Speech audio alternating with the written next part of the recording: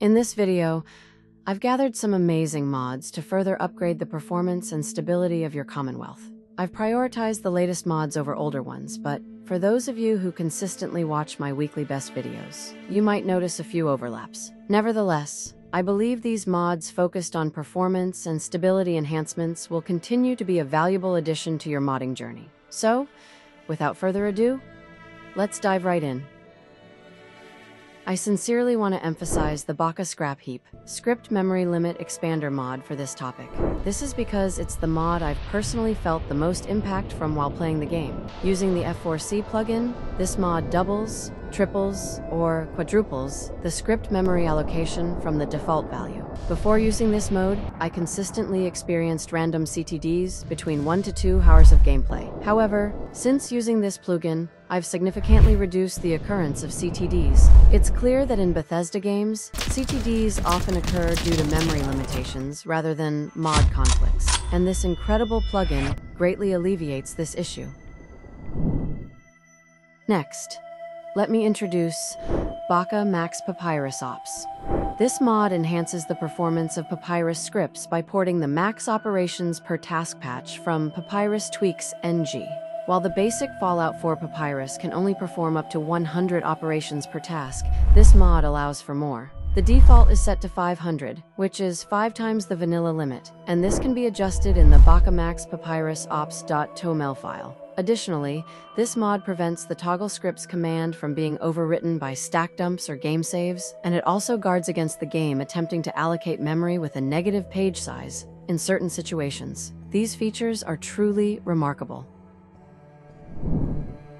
Next up is Escape Freeze F4SE. This plugin addresses freezes caused by deadlocks during specific condition checks in the game. It's especially useful in combat situations, as it detects game halts due to condition lock during deadlock, and releases the game stoppage within 3 to 5 seconds. With this plugin, you can enhance the safety of your game even further. Next up, we have MCM Booster. As the name suggests, this mod shortens the loading time of the mod configuration menu. The MCM provides a menu to adjust settings for various mods, a feature needed by many mods. However, the extended loading time of MCM often causes inconvenience for users. MCM Booster caches the configuration files of MCM in a format that can be quickly read, reducing the loading time almost instantly. This mod is compatible with any language, easy to install with no ESP, making it a recommended choice for you. It's safe, hassle-free, and doesn't impact your save files. Next, we have the Fallout Priority, F4SE plugin. This plugin automatically sets the game process priority of Fallout 4 to high. By using this plugin, it forcibly allocates most of the CPU to Fallout 4, preventing interruptions caused by other processes. It achieves this by calling WinAPI set priority class in the F4SE plugin DllMain. It's easy to install and configure, and it can contribute to improving the performance of your Fallout 4. Next up, we have FPSL, Lighting and Tweaks Performance.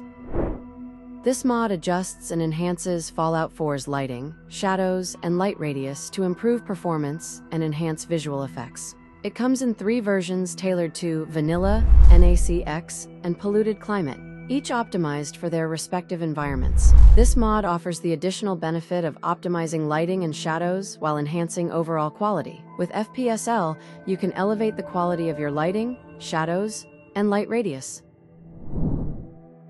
Next, I'd like to introduce some innovative mods that help reduce loading times. First up is the Long Loading Times Fix. This plugin accelerates the slow portions of the game code, making the loading thread faster. It cuts down loading times when transitioning between locations using long, black loading screens or elevators. It also shortens loading times when revisiting recently visited places and addresses vertical synchronization in-game for high frame rate monitors. It's an excellent mod with various performance-enhancing features.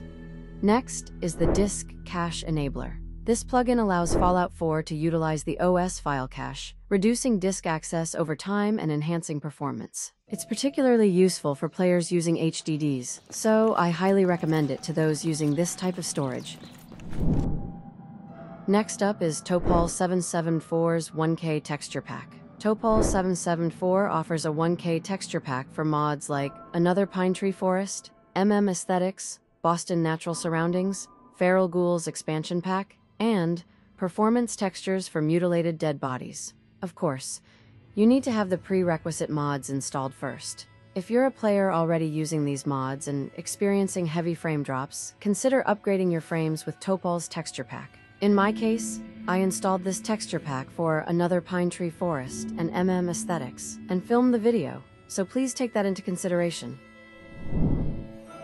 In this segment, I'd like to introduce Boston FPS Fix PRP Edition. Boston FPS Fix is likely familiar to many. It's a mod that reconstructs pre-combined meshes and pre-visibility data to improve frames in the Boston area. PRP Edition extends this same work to the DLC areas, enhancing the overall frames and stability of Fallout 4.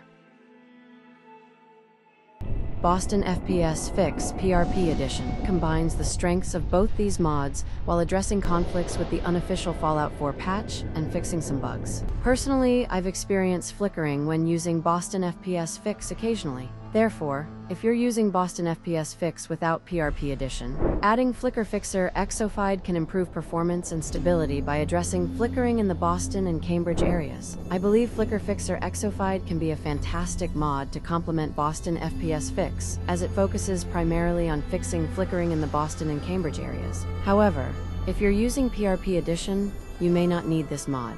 It's worth considering. Lastly, Let's revisit Optimax All-in-One, a big FO4 performance mod, which I introduced most recently. This mod stands out for using artificial intelligence to create beautiful, lightweight texture packs.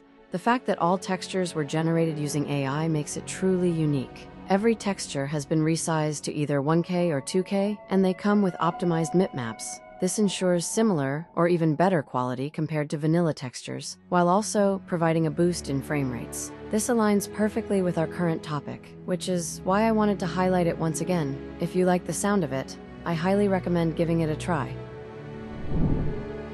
Thank you for joining me on this journey to enhance your Fallout 4 experience. Remember, these mods are here to elevate your gameplay, so go ahead and give them a try. If you found this video helpful, don't forget to like and subscribe for more gaming tips and mod recommendations. And donations through Patreon are very helpful in video production. Until next time, wander the wasteland with newfound confidence. Happy gaming.